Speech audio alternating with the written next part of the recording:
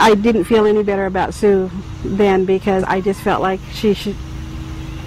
I was very judgmental and thought she should have been a better mother. And I wouldn't let my kids go over there, but I was welcomed her kids over to our house and wanted them to be there and be safe. But I, uh, the night it happened, they wanted Paula to stay the night, and I wouldn't let her stay.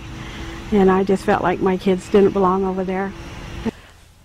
Since the murders have happened, I've heard rumors of going around that my mom, um, you know, to earn money, went out and I guess sold herself.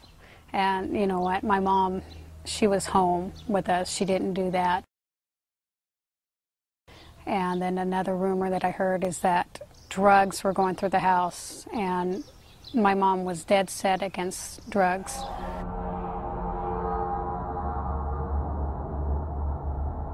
My aunt, of all people, my cousin, uh, Johnny, my Aunt Sue,